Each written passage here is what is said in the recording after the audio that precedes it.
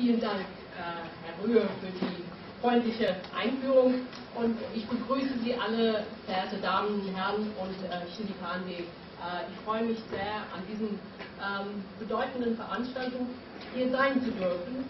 Ähm, und äh, ich freue mich auch auf die Diskussion anschließend, besonders in, in Folge von dem äh, Vortrag von Herrn Dr. Sternstein, worauf ich sehr gespannt bin.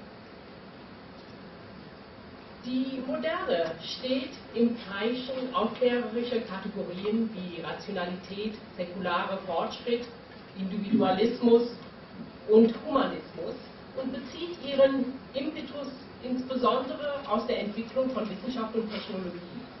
Aber die moderne Welt wurde auch zum Schauplatz von Imperialismus, Militarismus und der gleichzeitigen Ausbeutung großer Teile der Welt. Teilweise in Reaktion auf diese historischen Kräfte brachte das 20. Jahrhundert eine Reihe sozialer Bewegungen hervor, die sich der Tendenz zu gewaltsamer Konfrontation, Terrorismus und Bürgerkrieg widersetzten. Mahatma Gandhi, einer der einflussreichsten Kritiker der industriellen Moderne, wurde zum Inbegriff solcher Strategien. In der Tat gilt er selbst als Leitfigur gleich dreier bedeutender Revolten des 20. Jahrhunderts, nämlich des Aufbegehrens gegen den Rassismus, der Erhebung gegen den Kolonialismus und der Ablehnung politischer Gewalt. Es ist daher von großer symbolischer Bedeutung, dass das Datum des 11. September 1906, also der 9-11, vor genau 100 Jahren die Geburtsstunde des Satyagraha mit Gandhi als seinen wichtigsten, äh, wichtigsten Geburtshelfer markierte, die mitten in der Hochblüte von Kolonialismus und Imperialismus die Hoffnung entstehen ließ, der Teufelskreis von wirtschaftlicher, politischer und kultureller Gewalt lasse sich auf gewaltlose Weise und durch den Appell an die Instanz des moralischen Bewusstseins durchbrechen. Gandhis letztes, wenngleich utopisches Ziel bestand in der Stärkung der Starken. Seine Botschaft wollte die Menschen vereinigen und das äh, Verständnis zwischen Regierenden und Regierten befördern. Könnte es also sein, dass durch eine merkwürdige Laune des historischen Zufalls nicht eine, sondern zwei durch fast ein Jahrhundert voneinander getrennte 9-11s die äußerst entgegengesetzten Optionen der Moderne repräsentieren. Als konträre Zäsuren der Geschichte stehen der, 9, äh, stehen der 11. September 2001 und der 11. September 1906 einander diametral gegenüber und fördern sich wechselseitig heraus. Auf der einen Seite erzählt der frühere 9-11, wie das Zitat von Gilbert Murray, die Geschichte einer Emanzipation aus dem Bannkreis von Furcht, Hass und Aggression und konstruiert in dieser Widerständigkeit eine Vision von befreiender Kraft. Auf der Gegenseite setzt der 9-11 des Jahres 2001 die Spirale von Gewalt und Gegengewalt in volle Geltung, etabliert ein neues Niveau von Instabilität und Gefährdung lässt neue Formen autoritärer Machtausübung entstehen und unterhöhlt mit alledem die Fundamente einer wahrhaft demokratischen Ordnung, nämlich Gerechtigkeit und Freiheit. Wie unpassend eine solche Gegenüberstellung auf den ersten Blick auch erscheinen mag, so haben sich doch beim Versuch, den traumatischen Schock des 9-11 zu bewältigen, am fünften Jahrestag dieses schrecklichen Ereignisses viele Amerikaner und politisch nachdenkliche Bürger in der ganzen Welt bewusst auf das Jubiläum der 100. Wiederkehr jenes 11. September von 1906 besonnen, um aus Gandhis Satyagraha womöglich die Inspiration für einen Bewusstseinswandel zu gewinnen, um den 9-11 aus einem Datum der Verzweiflung und der Rache in einen Tag der Heilung und des Friedens zu verwandeln wohl. Darum wurde an 32 Schauplätzen in den USA Attenboroughs Gandhi-Film gezeigt, unter anderem auch im Regal Theater in New York auf der gegenüberliegenden Straßenseite von Ground Zero. In gewisser Weise lässt also gerade die historische Koinzidenz dieser beiden diametral gegen, entgegengesetzten 11. September die Dringlichkeit hervortreten, die scheinbar erloschene Macht der Gewaltlosigkeit wieder zu beleben und so womöglich einen Paradigmenwechsel auf der zeitgenössischen politischen Tagesordnung herbeizuführen. Als Historikerin mit einem Sinn für ethische Maßstäbe und Verantwortlichkeit möchte ich betonen, dass sehr viel darauf ankommt, welche Ereignisse wir auswählen und in ihrer geschichtlichen Bedeutsamkeit herausstellen und welche anderen Begebenheiten wir zu ignorieren oder doch für weniger bedeutend zu halten beschließen. Denn indem wir unsere Geschichte, äh, die Geschichte unserer Gesellschaften und Kulturen in dieser oder jener Weise erzählen, tragen wir zugleich zur kollektiven Bewusstseinsbildung bei und beeinflussen damit in ganz wesentlichem Grade das Weltverständnis und die Handlungsweisen von Individuen und Kollektiven in Gegenwart und Zukunft. Anstatt mich nun jedoch ausschließlich auf dieses besondere Datum zu konzentrieren, für das wir durch den permanenten Medienbeschuss äh, Beschuss, äh, wohl bis zu einem gewissen Grad taub geworden sind, möchte ich mit Ihnen jedoch die Genese des Satyagraha-Denkens etwas genauer verfolgen, das Gandhi selbst ausdrücklich als einen Prozess verstand und möchte zunächst kurz erläutern, warum Gandhi berufen schien, dieses Konzept zu propagieren. Um aber nicht einfach zu wiederholen, was von vielen kompetenten Autoren, darunter Michael Nagler, dem amerikanischen Friedensforscher, dessen Buch hier ausgestellt ist, über die philosophischen Grundlagen des Satyagraha festgestellt worden ist und weil Herr Rühr mich über dies gebeten hatte, äh, mein Augenmerk vor allem auf den historischen, biografischen und kulturellen Aspekt des Phänomens zu richten, möchte ich also zunächst die kulturelle Entstehungsgeschichte ähm, von Gandhis Strategie der Gewaltlosigkeit näher betrachten und vielleicht ein paar neue Einsichten dazu beisteuern. Und da Gandhis Botschaft im gegenwärtigen politischen Denken und im Bewusstsein der heutigen allgemeinen Öffentlichkeit, die Anwesenden natürlich ausgenommen, keine große Rolle mehr zu spielen scheint, ja mehr oder weniger in Vergessenheit geraten ist, will ich im zweiten Teil meines kurzen Vortrags zumindest an die überragende mediale Bedeutung erinnern, die Gandhi sein Denken und Tun über vier Jahrzehnte des 20. Jahrhunderts hindurch, von 1906 bis 1948, zuwuchs, zunächst in Südafrika, dann in Indien und schließlich in den Augen einer globalen Öffentlichkeit. Und ich erinnere daran, durch die prägnante Anschauungshilfe einer kleinen Serie von politischen Cartoons, die, wie wir alle wissen, ein besonders probates Mittel sind, um komplexe politische Konstellationen auf einen pointierten Nenner zu bringen. Hier auf der Leinwand sehen Sie eine kurze Chronologie von Gandhis Leben.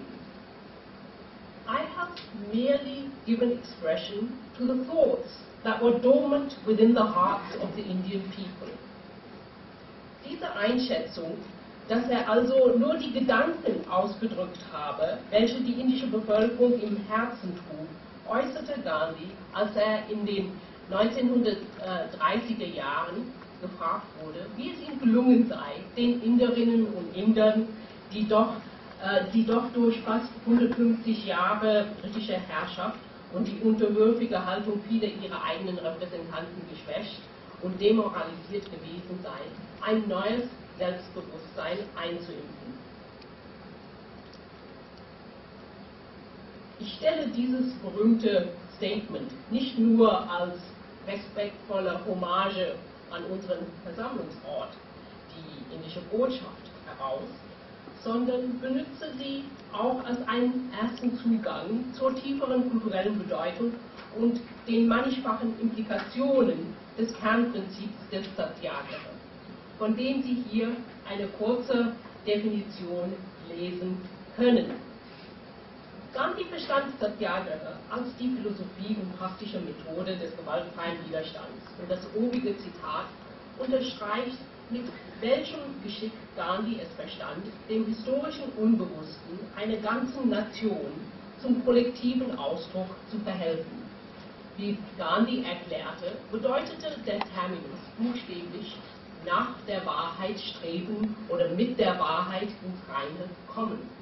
Unterstreicht damit also den prozessualen Geschehens- und den aktiven Bemühenscharakter des Vorgangs.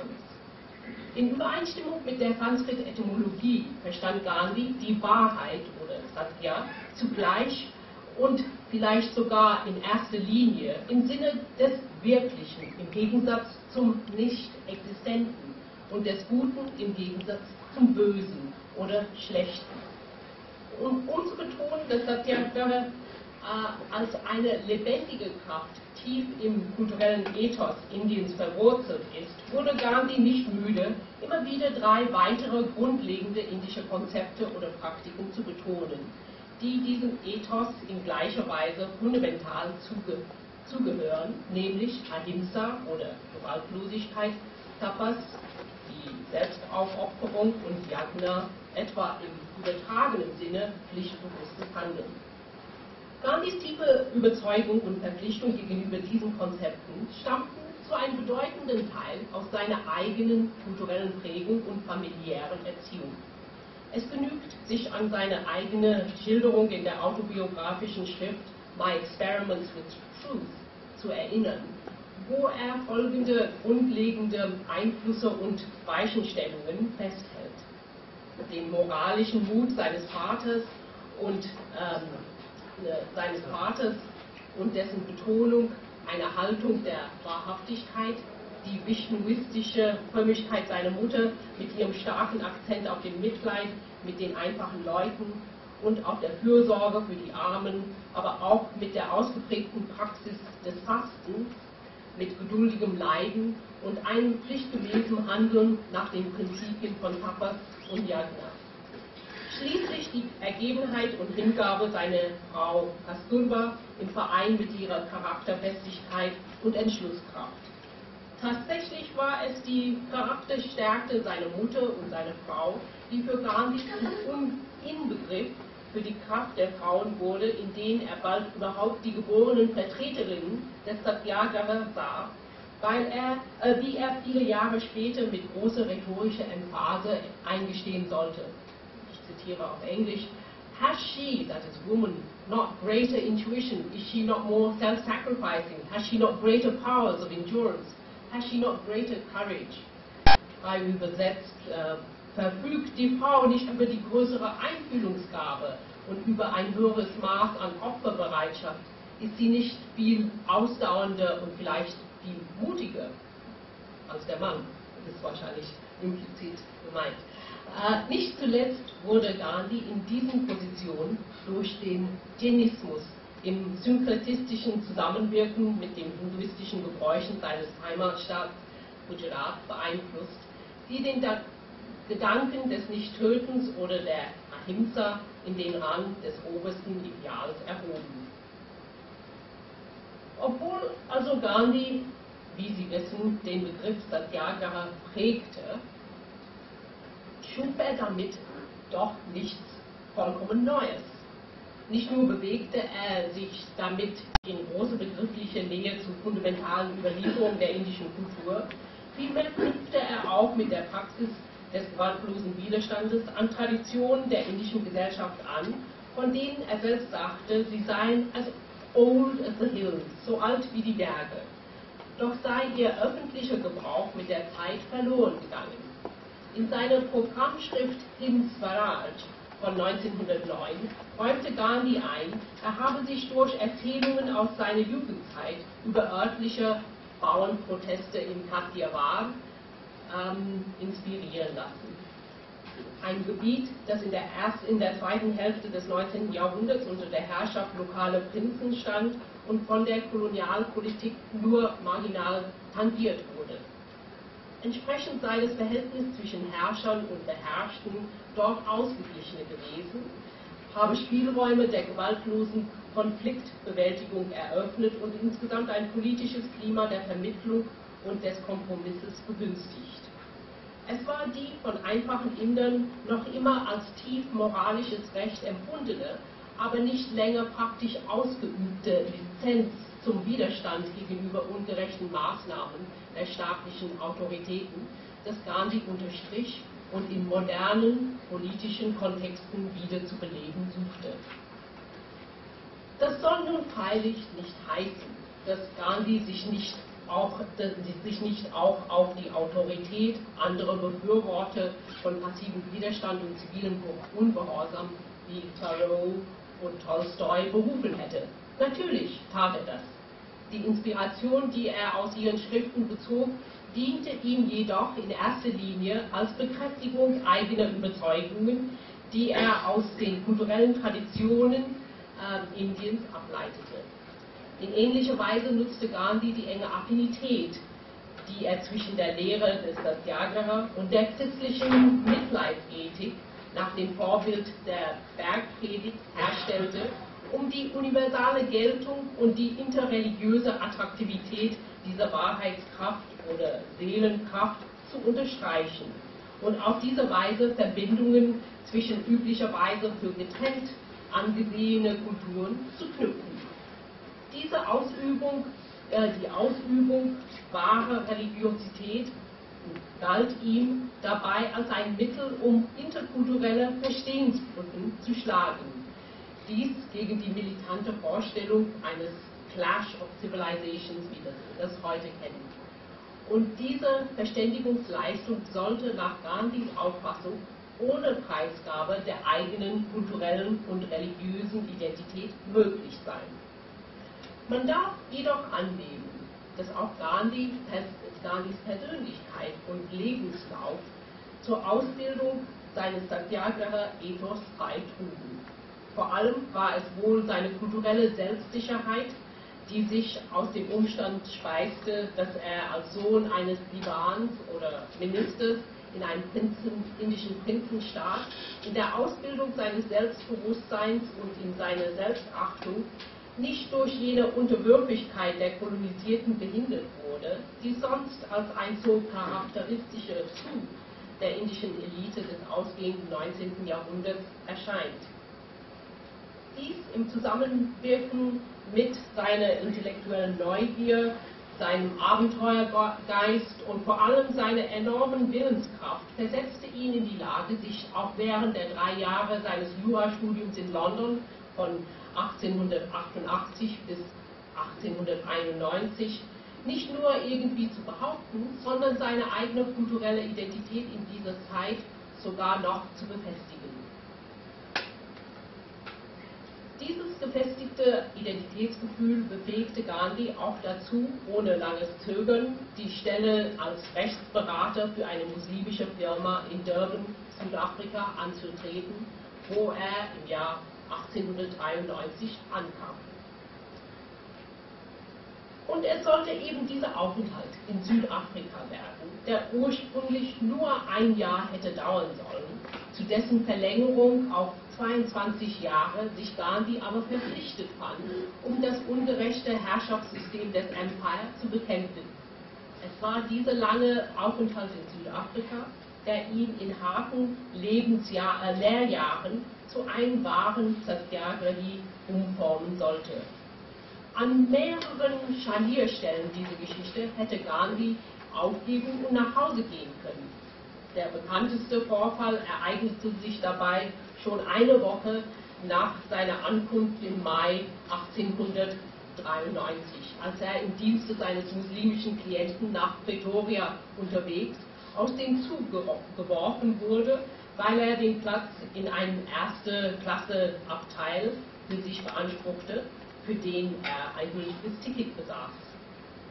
Diese persönliche Affront wurde zum Auslöser der nach Gandhis eigener Aussage kreativsten Nacht seines Lebens, in der er im kalten Bergbahnhof von äh, Peter Maritzburg beschloss, seine Wut zu überwinden und seine Aufmerksamkeit stattdessen auf die viel umfassenderen Fragen der Rassenvorurteile, der Ungerechtigkeit und der Ausbeutung zu richten, wie sie seinen gerade einmal 100.000 indischen Landsleuten in Südafrika von Seiten der europäischen Kolonialherren widerfuhren. Denn nach seinen Prinzipien hielt Gandhi es für seine Pflicht, den juristischen Kampf aufzunehmen und für die Ausrottung jener, wie er sagte, tief sitzende Krankheit des Rassenvorurteils zu streiten, wobei er mit seiner Rede von dem Deep Disease of Color Prejudice geschickt das kolonialistische Klischee umkehrte, dass gerade die Asiaten als rückständig und krank oder, oder diseased zu porträtieren liebte. In diesem Widerstand legte Gandhi eine große Effizienz und ein bemerkenswertes Organisationstalent an den Tag, indem er zuerst eine vorsichtige und schrittweise Kampagne gegen die Unterdrückung des Wahlrechts der indischen Kaufleute in Natal lancierte, dann 1894 zügig äh, den, Indien, äh, den Natal Indian Congress ins Leben rief, der übrigens als eine der ersten politischen Organisationen der Welt auch eine Anzahl weiblicher Mitglieder aufnahm und später zum Vorbild für den African National Congress werden sollte. Gandhi war dann verantwortlich für die erste Petition, die jemals durch eine Gruppe von Indern bei einem südafrikanischen Parlament eingereicht wurde.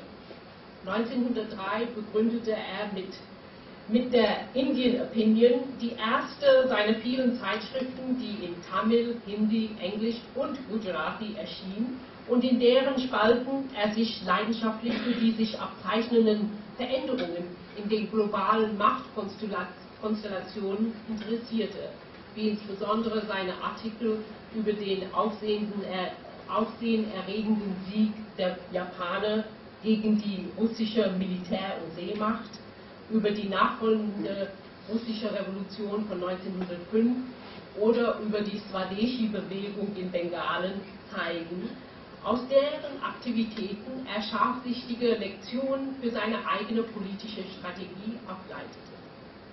In dieser Periode baute er auch seinen ersten interkulturellen Ashram in Phoenix in der Nähe von Durban auf, ein sozialistisches Zurück zur Natur-Experiment mit allerdings ausgeprägter spiritueller Komponente und von fraglos großer Ausstrahlung auf spätere Kommunen mit betont anti-autoritäre Tendenz. Weit davon entfernt, zum asketischen Einsiedler zu werden, blieb Gandhi jedoch in engem Kontakt mit den politischen Entwicklungen in Indien, wie auch in der kolonialen Metropole. Zu verschiedenen Malen reiste er in politischen Missionen nach Indien und nach London. Es war jedoch das brutale kolonialistische Massaker während des Zulu, ähm, des Zulu-Aufstandes von 1906 in Natal, das ihn im Innersten erschütterte und ihn, einen, ihn, einen Familienvater von vier Söhnen, dazu veranlasste, im Juli 1906 das Keuschheitsgelübde eines Brahmacharya anzulegen, abzulegen, damit er in seinen eigenen Worten seine gesamte Energie in den Dienst der Menschheit stellen könne. Dieser Wechsel seines Lebensstils bedeutete mit Sicherheit eine verstärkte Hinwendung zu einem intensiven gesellschaftlichen und politischen Engagement unter den Leitvorstellungen von Moralität und Gerechtigkeit. Dann im August 1906 erließ die von, den, von der Burenbevölkerung dominierte Regierung von Transvaal unter dem Premierminister General Louis Botho und mit General Smuts als Colonial Secretary den Entwurf eines Asiatic Law Amendment Ordinance, das bald auch als Black Act bezeichnet wurde. Also eine Gesetzesverordnung, die darauf zielte, die indische Einwanderung scharf zu begrenzen, ja die Inder sogar insgesamt zu vertreiben. Dieser Cartoon zeigt die asiatische Einwanderung im Bild eines Tigers, der den Weg zu einer weißen Zivilisation blockiert, was die Transvaal Ordinance, der Mann mit dem Dolch, mit Gewalt zu unterbinden trachtet. Gandhi suchte dem erschreckenden Maß an Furcht, Gewaltbereitschaft und Unmenschlichkeit, das diesem Szenario innewohnte, mit einer ausgedehnten Pressekampagne und der disziplinierten und in gesitteten Bahnen verlaufenden Mobilisierung der indischen Bevölkerung zu begegnen. Der allen Indern zwangsweise abgenommene Fingerabdruck setzte diese auf eine Stufe mit Kriminellen. Hier sehen Sie die pointierte Sicht der anderen Seite. The fingerprint, uh, the fingerprint question. Der Kolonialbeamte zur Linken sagt, if you feel aggrieved, zu dem Inder, if you feel aggrieved over these fingerprints, how do you think I feel? Etwa, wenn diese Fingerabdrücke Sie stören, was glauben Sie wohl, wie ich mich fühle? Wie dieser Cartoon zeigt, richteten sich Gandhis Bemühungen darauf, die übertriebene Furcht der Kolonialregierung zu mildern. Südafrika könne durch die Asiaten förmlich überrannt werden. Am 11. September versammelten sich dann 3000 Inder, sowohl Hindus wie Moslems, Händler wie Kulis, im Empire Theater von Johannesburg, das übrigens unter jüdischem Management stand um in Anwesenheit geladener Regierungsvertreter darüber zu diskutieren, wie dieser Maßnahme zu begegnen sei. In Anlehnung an traditionellen Methoden des Protests, wie er sie aus seiner Heimat Gujarat kannte, rief Gandhi zunächst alle Anwesenden dazu auf, dem vorgeschlagenen Gesetz Zustimmung und Kooperation zu verweigern. Und zwar unabhängig von den Strafen, die auf dieses Delikt verhängt werden würden. Dann, so berichtet Gandhi in seinem Buch Satyagraha in South Africa, sei zu seiner Überraschung ein muslimischer Geschäftsmann, Sheikh Haji Habib, aufgesprungen und habe erklärt, dass die Resolution mit Gott als Zeugen verabschiedet werden müsse, dass Inder sich niemals feige unter ein solches Gesetz beugen würden. Diese geistliche Selbstverpflichtung durch einen Moslem beeindruckte Gandhi und gab ihm den Gedanken ein, seinen Eid mit einem religiösen Bekenntnis zur Gewaltlosigkeit zu bekräftigen, dem sich alle versammelten Inder feierlich anschlossen. Dass die nachdrückliche spirituelle Dimension dieser ersten massenhaften Gewaltlosigkeitskampagne in Südafrika durch einen Moslem initiiert wurde, ist etwas, woran man sich heute ruhig erinnern darf. Und in der Tat, in der Tat darf man den islamischen Einfluss auf Gandhis Definition des äh, Satyagraha als eines spirituellen Kampfes gegen äh, strukturelle Gewalt nicht unterschätzen. Das Bild Gandhis als eines Sprechers für einen Dschihad des in der inneren spirituellen Spielart wurde unsere Klischeevorstellungen über den Islam in der Tat mächtig erschüttert. Davon abgesehen waren es Gandhis äh, Organisationsgenie und sein Charisma, die ihn dazu befähigten, der amorphen und bis dahin zur Unterwürfigkeit neigenden Masse indischer Immigranten Selbstvertrauen und einen auf dem Gefühl persönlicher Würde basierenden Selbstrespekt zu vermitteln, um sie auf diese Weise zu einer einheitlichen indischen Gemeinschaft zusammenzuschweißen und zum entschlossenen Widerstand gegen die ungerechten Maßnahmen der Regierung zu bewegen. Bei alledem wurden unablässig die bleibende Offenheit für Verhandlungen und die Notwendigkeit gut nachbarlicher Beziehungen mit den Europäern in Südafrika betont dass diese Botschaft eine von Würde getragenen Entschlossenheit, dass diese Botschaft eine von Würde äh, getragene Entschlossenheit verstanden wurde und eine außerordentliche Wirkung entfaltete, zeigt die, der folgende Cartoon mit seinen komischen Konnotationen. Passiver Widerstand im Transvaal. die Dampfwalze gegen den Elefanten mit der Unterschrift The Elephant, das heißt die indische Bevölkerungsgruppe unter Gandhis Führung, sat tight, the steamroller exploded. Tatsächlich musste die staatliche Dampfwalze einsehen, dass sie als Gandhis Satyagraha-Kampagne an Dynamik gewann, gegen die vereinte und beharrliche Macht der indischen Community, die hier durch den Elefanten symbolisiert wird, der ihr den Weg versperrt, nichts auszurichten vermochte.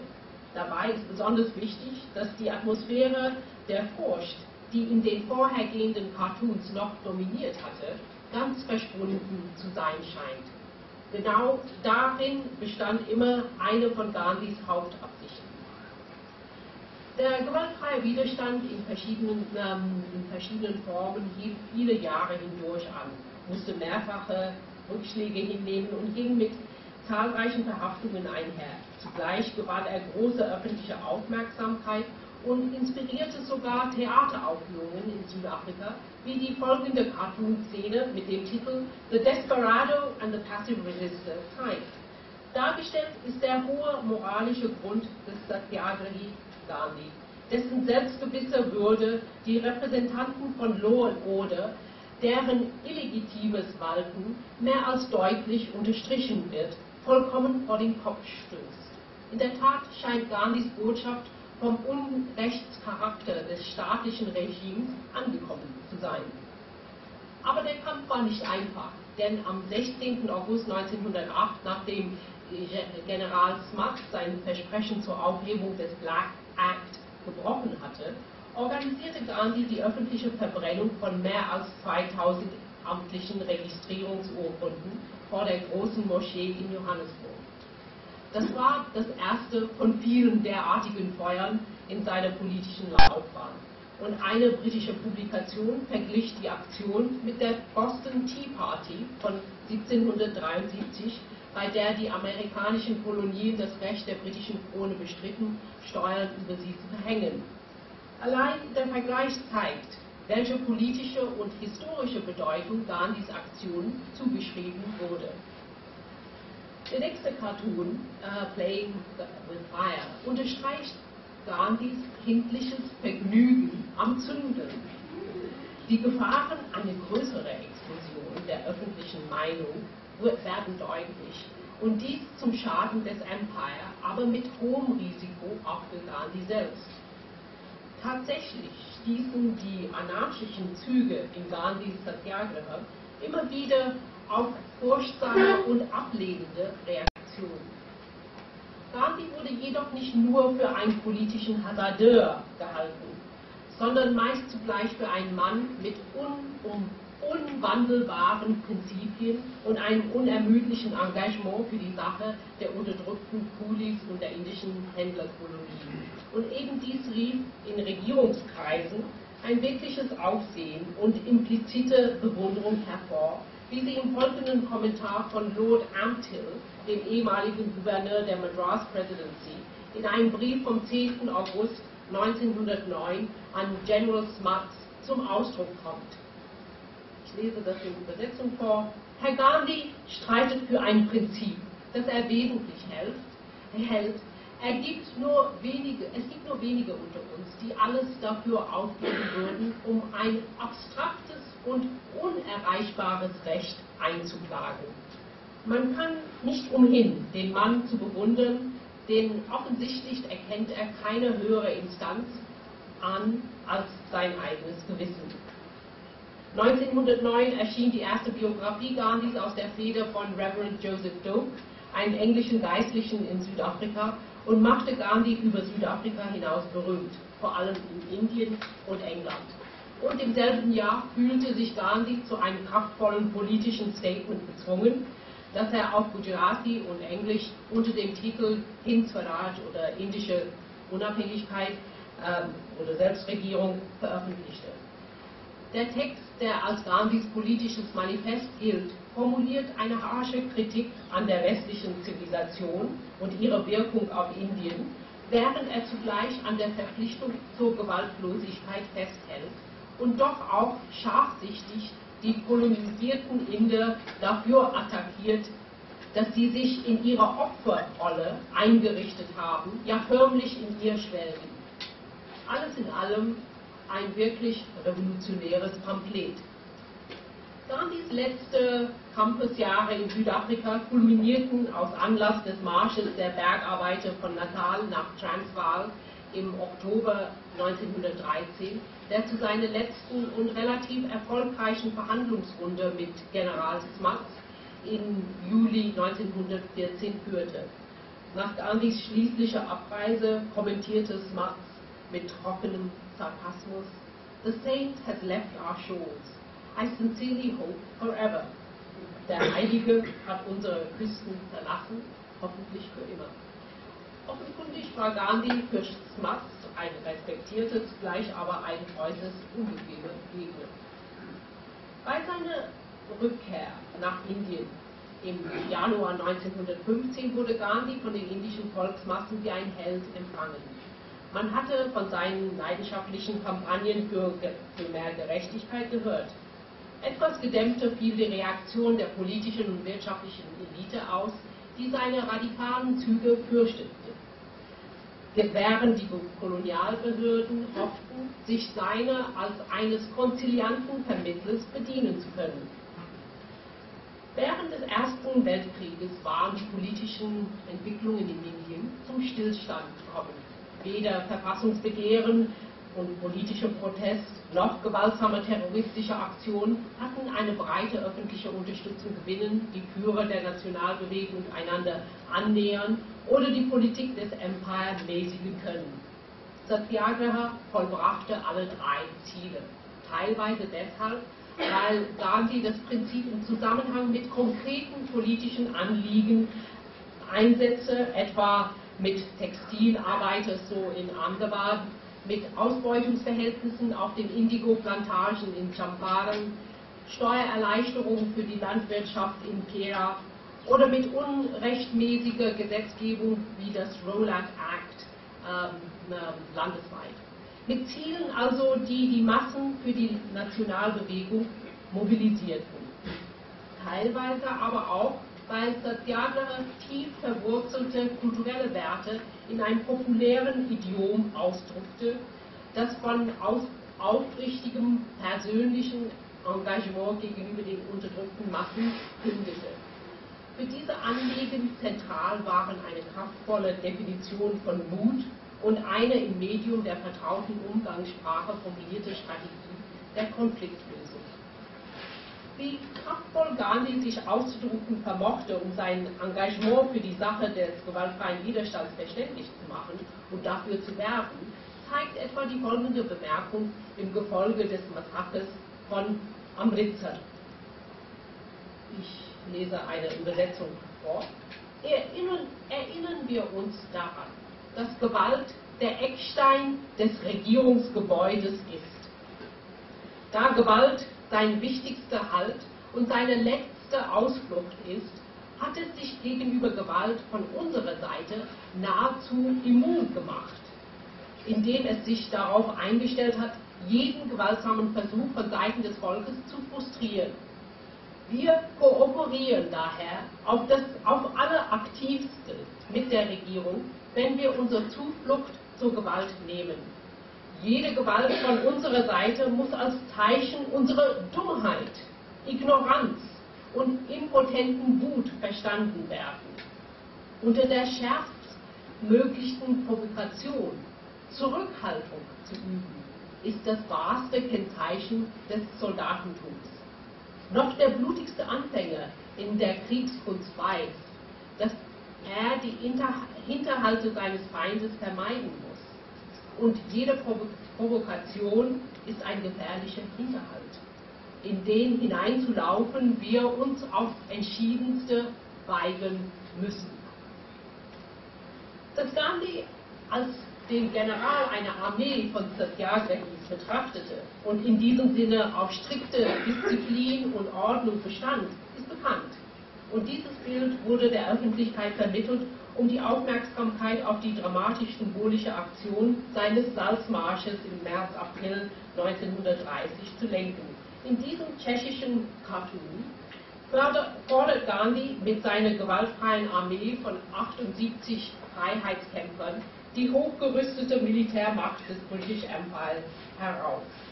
Nicht nur ist Gandhi dazu imstande, ein ganzes Land zu mobilisieren, sondern sein unheimliches Talent für mediale Inszenierung lässt das Publikum des ganzen Globus zu Zeugen dafür werden, wie die Gewalttätigkeit eines repressiv, repressiven Staates mutig ausgehalten werden kann und das selbst noch nach Gandhis Verhaftung.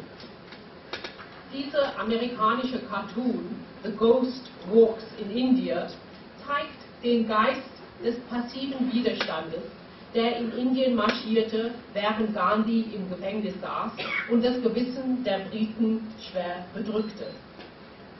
Und noch ein Cartoon, Gandhi in der Löwenhölle, diesmal aus dem deutschen Simplicissimus, zeigt Gandhi beim Anspinnen eines friedlichen Protests gegen Großbritanniens Verweigerung der Selbstherrschaft gegenüber Indien, während die britische Herrscher in der Gestalt imperialer Löwen wütend und befremdet zusehen.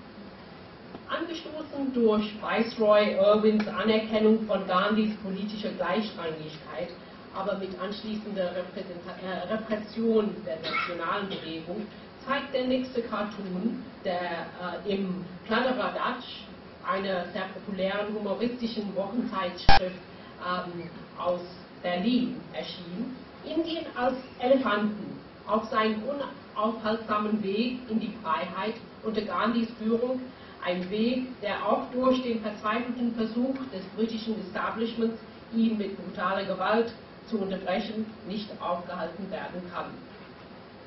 Dass Gandhis unglaubliche politische Statur die es etwa möglich machte, ihn als einzigen Abgesandten zu der Londoner Roundtable Conference zu entsenden, äh, in den westlichen Medien mit Erstaunen registriert wurde, wird etwa aus dem folgenden Cartoon ersichtlich: The Shirted and the Shirtless.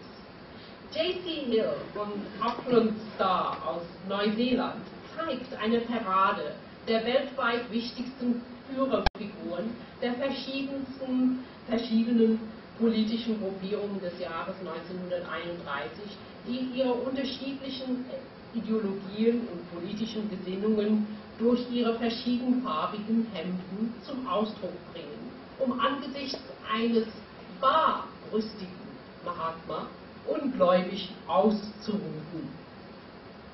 And he ain't wearing any blooming shirt at all. Das ist so im Neuseeland-Slang. Ähm, ähm, dass die britischen Autoritäten sich mit ihrer Reaktion auf diesen Gegner und sein populäres Charisma schwer tun, wird mit spitzer Feder in diesem Cartoon Lord Willingdons Dilemma aufgespießt. Denn selbst wenn der eine Gandhi hinter Gefängnisgittern sitzt, braucht sich der nächste Vizekönig Lord Willingdon nur umzudrehen, um zu finden, dass für den einen eingesperrten Gandhi tausend andere sich draußen zur Stelle melden. Die Nation war, da, war durch Gandhi elektrisiert worden und jetzt gab es kein Zurück mehr. Und als das britische Kolonialreich dem faschistischen Deutschland den Krieg erklärt, setzt Gandhi die liberale britische Rhetorik mit verbalen Mitteln Schachmatt, wie der nächste Cartoon Shock for the Silent Column zeigt, indem er Gandhi darauf, äh, indem Gandhi darauf besteht, dass es kaum einen Unterschied gibt zwischen dem Narzissmus und der Autokratie, die jetzt Indien regiert. Gandhi hält hier das Banner der freien Rede hoch, während der Vizekönig Linlithgow, Churchill und der Staats Sekretär Emery geknebelt sind. Als schließlich in den frühen 40er Jahren die Unabhängigkeit in Sicht kommt, zeigt dieser Cartoon unter dem Titel Room for All Gandhis Großherzigkeit auf humorvolle Weise, indem er Gandhi sagen lässt, ich zitiere von Gandhi, Lord, Lord Linlithgow wird uns dann fragen, wenn die Unabhängigkeit kommt, ob er und seine Männer in Indien bleiben könnten und ob wir wünschen, dass Sie das Land mit dem nächsten, oder ob Sie wünschen, dass Sie das Land mit dem nächsten Boot verlassen. Wir werden sagen, es gibt für euch Leute keinen Grund zu gehen. Indien ist ein ausgedehntes Land. Ihr und Ihr Volk könnt bequem bei uns bleiben, vorausgesetzt, ihr passt euch an die hiesigen Lebensverhältnisse an. All dies getreu sein Motto, to fight evil, not the perpetrator. Das Böse bekämpfen, nicht den Täter. Und nun muss ich mit dem, einem letzten Cartoon zum Schluss kommen und freilich war das, was ich Ihnen vorführen konnte, nur ein winziger Ausschnitt aus einem sehr umfangreichen Vorrat.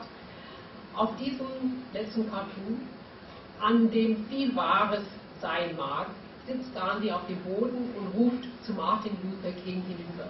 The odd thing about assassins, Dr. King, is that they think they've killed you. Das Kuriose an Attentätern, mein lieber Dr. King, ist doch, dass sie glauben, sie hätten einen umgebracht. Lassen Sie mich mit dem folgenden kurzen Fazit schließen.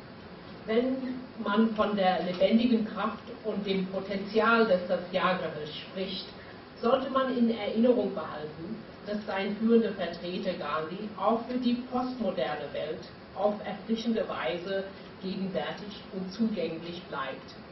Den erforderte traditionelle Sichtweisen heraus, durchbrach traditionelle Kategorien des Denkens, suchte mit seiner Vorstellungskraft alle Bereiche des Lebens zu erfassen und zu durchdringen und eröffnete dem menschlichen Denken und Handeln neue philosophische und praktische Möglichkeiten. Und mit diesen Eigenschaften fordert er auch uns auf, neu über Dinge nachzudenken, die wir für gewiss und für stabil gegeben gehalten hatten. Die Art und Weise, in der seine gewaltlose Waffe des Satyagraha sich in der heutigen Welt einsetzen lässt und möglicherweise Hoffnung für die Zukunft gibt, wird der Gegenstand des Vortrags von Herrn Dr. Wolfgang Sternschein sein, unsere, unseres deutschen Gartens. Ich danke Ihnen sehr für Ihre Aufmerksamkeit.